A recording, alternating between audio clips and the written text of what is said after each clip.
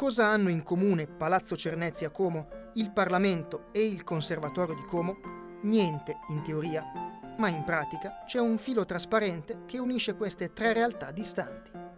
Quel filo invisibile si chiama Anna Veronelli, che a dispetto di un'apparente attitudine mite e pacata, negli ultimi mesi si è mostrata in grado di compiere notevoli evoluzioni politiche, balzi di una rapidità e di un'ampiezza invidiabili.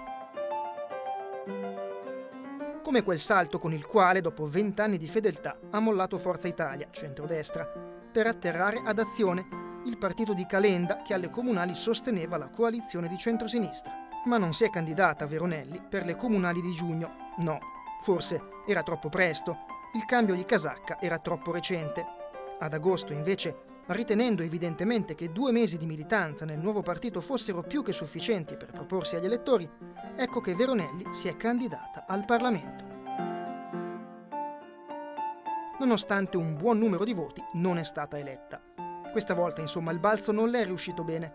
L'atterraggio però è stato comunque morbido, perché al martedì pomeriggio, con le urne ancora calde, è arrivata la notizia Anna Veronelli, nuovo presidente del Conservatorio di Como. Ora, immaginando che questa nomina non abbia nulla a che vedere con la politica, ma con le competenze musicali che onestamente fino ad oggi ignoravamo di Anna Veronelli, auguriamo al neopresidente del Conservatorio buon lavoro, supponendo che l'impegno per il nuovo incarico non le permetterà di candidarsi alle regionali dell'anno prossimo.